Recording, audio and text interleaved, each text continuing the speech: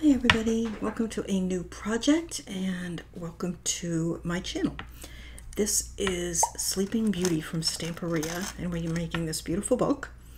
This is a project for Scrap and Create and you can get all your supplies there. I will have a link down below and a list of everything that I used um, and also a link probably not on this video but on the first tutorial video I'll have a link to the cutting guide for this project. I just don't have it ready that's why I don't think it's going to be on this one. Uh, but in any event, I had two 12 by 12, two 8 by 8, a rice paper, the wooden shapes, the card collection, the die cuts.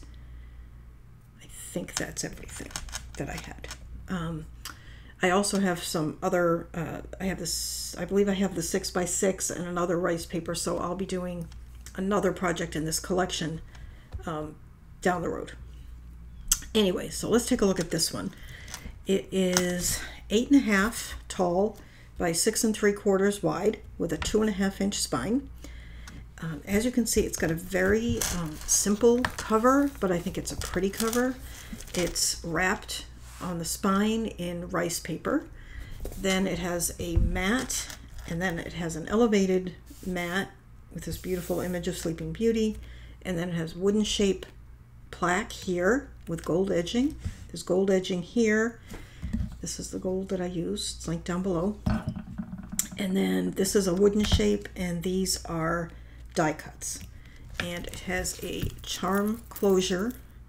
And the charms are all from Scrap and Create. When you place your order, you'll get a little mesh bag that has metal pieces and charms. And that's where all those came from. And then this is the back. Okay. So let us take a look inside. So this is a card, and it's normally tied closed, but I have it untied so I can show it to you. And it has a little tiny grommet to help keep it closed. And it just opens like that. And this is a fussy cut from the collection, the 12 by 12. There is room for three side pocket inserts. I did not include them. I didn't think it was necessary, but of course if you want to make them, by all means. Um, here we have a belly band. All of the photo mats are, the, are just plain craft cardstock, plain on the back, and a mat on the front. So that's that one. And then this is from the card collection, which I loved having. It made, um, it was just really nice when it came time to doing inserts to have those. Um, so that's that. Then the next section, this is a pocket page. The next section here is sewn into the book. It's a sewn signature. Um, these are from the collections Fussy Cut. The paper here is an 11 by 17 paper that I coffee dyed, and I will link this paper below. Um, you do need a pretty big paper to fold in half and still get pages this size. So that I'll link what I used. And this is from the card collection. This is one of the cards, and this is just a photo mat.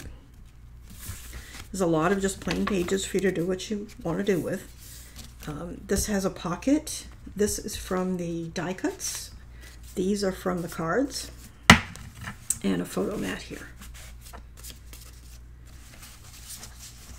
And that's just partially glued down, so you can use that as tuck spot. And some plain pages. This is a burgundy cardstock that's been matted. Um, here, a scrap of paper has just been glued down on two sides to make sort of a semi-pocket tuck spot. We have a few of those in there. And just sort of quick go through. Here's a pocket. This is another one of the cards and a photo mat.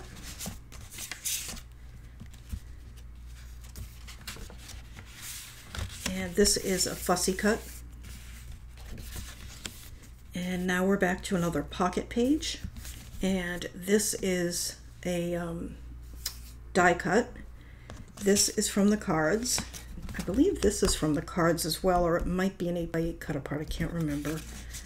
And then this, and this is actually loose here as well, so you could put your own picture there. And this is from the um, die cuts.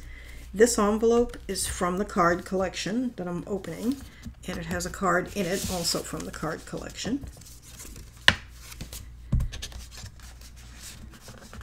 Actually, you know what? I'm looking at this envelope. because I see the inside of it. I think I actually made this envelope. I, I misspoke. This is the envelope itself is not from the card collection, but the card in it is. Um, we have a pocket here. This is from the 8x8, just a photo mat there. And then we get to another sewn section. It's going to be similar to the other one. Here's another one of those um, tuck spots. This is from the card collection.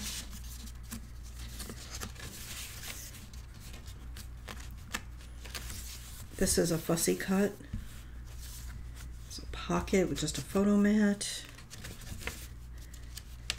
And here is another one of the pocket tuck spots.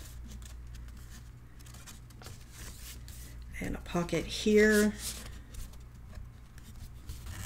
As you can see, there's tons of room for your journaling, your photos, whatever you want to put in. Here's another one of those little tuck spots, but at the bottom. Show you that. And then we get to the last pocket page, and we've used just a piece of vellum just to give it a little touch. And this is one of the cards turned over that we've um, layered with a bunch of torn pages, some rice paper, and then decorated with some fussy cuts. And that's the inside back cover, it's just matted. And then this is a flap with a pocket with a photo mat and just a cut part. And then you saw the back. And it does, I mentioned it has the chain and charm closure right there. And that's how it looks from the top. You can see it has lots and lots of pages. So that is that. I hope you'll join me in making it. It's lots of fun. Um, the first tutorial should be up tomorrow, I believe. Tomorrow the next day. And I guess that is it. I will see you next time when we get started. Thanks for watching. Bye-bye.